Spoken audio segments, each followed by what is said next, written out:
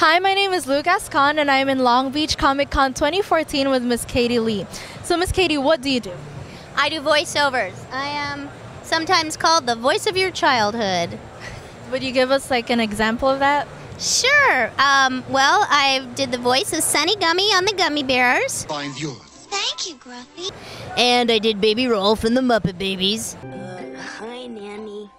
Uh, currently, I'm on a show called Poppy Cat, where I play Zuzu, another dog who skateboards. Hey, Poppy, watch me skate!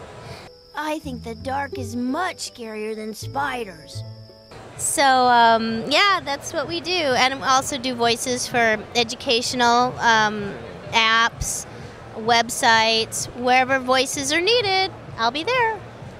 So, um, how big is creativity in your life?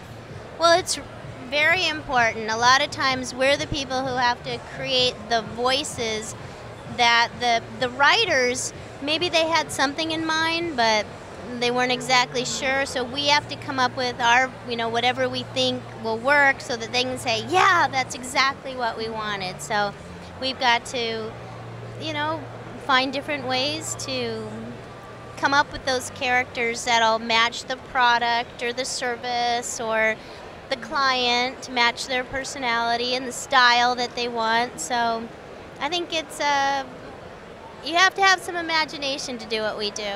So then what would you want to tell students who are kind of afraid to show their little creative side? Well, the only reason I can think that somebody would be afraid to show their creative side is that they're fearing they're going to be judged for some reason. But I can tell you, if you're out there listening, the most creative people may have been considered a little weird when they were kids, and now they're the ones that rule the world.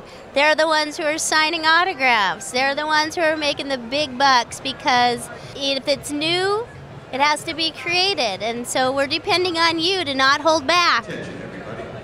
Okay, well, what are your current projects right now? I've got a show working coming out on Nickelodeon in January called Get Blake. Um, I'm doing a couple audio books, recording those. I'm writing my own book about my 35 plus years in voiceover, and especially working on a radio show called Adventures in Odyssey. We're just coming up on our, we're starting our 27th year on the air, I believe, this year. So lots of fun stuff. Okay, we'll definitely check that out. Well, thank you again for giving us the time. Well, thank you. I hope you're having fun. Thank you.